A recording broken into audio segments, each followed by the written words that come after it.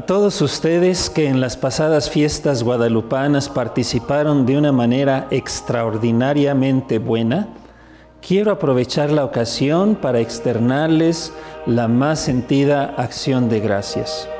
En primer lugar, a todos los feligreses, a todos los devotos de la Virgen Santa María de Guadalupe, que conscientes de la circunstancia por la cual nosotros estamos pasando, aceptaron la propuesta de celebrar a la Santísima Virgen María desde sus hogares, desde sus comunidades. También de una manera muy especial, quiero externar mi acción de gracias a todos y cada uno de los elementos que participaron en los operativos, a todos los señores de la policía,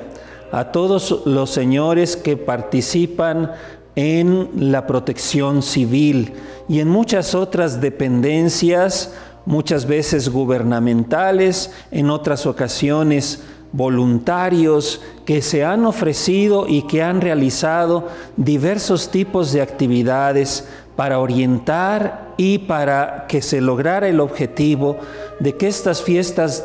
guadalupanas fueran una celebración que no dañara de ninguna manera nuestra salud.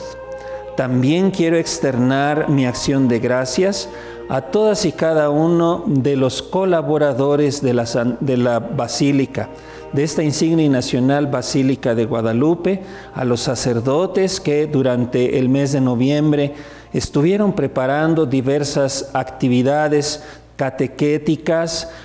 prepararon los materiales, participaron en las celebraciones litúrgicas. Este año nos ha tocado vivirlo así. La invitación continúa para que todos ustedes, en la medida de lo posible,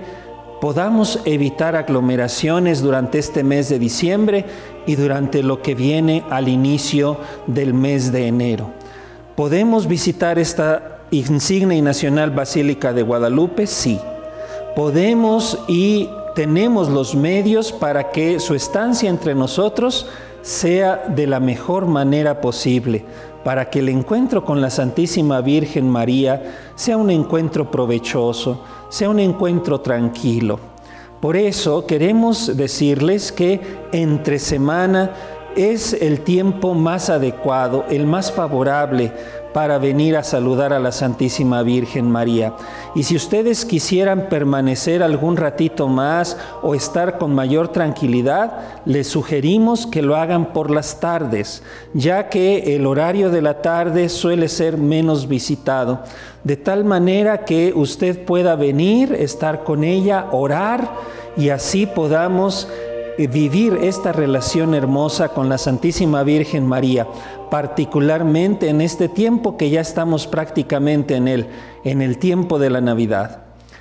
Por último, deseo expresar a todos y cada uno de ustedes la más calurosa felicitación, ya que el Señor Jesús ha querido estar entre nosotros y sea Él el centro de su hogar, el que los una, el que los haga armónicos y les conceda siempre todo lo que más necesitan. Muchas felicidades.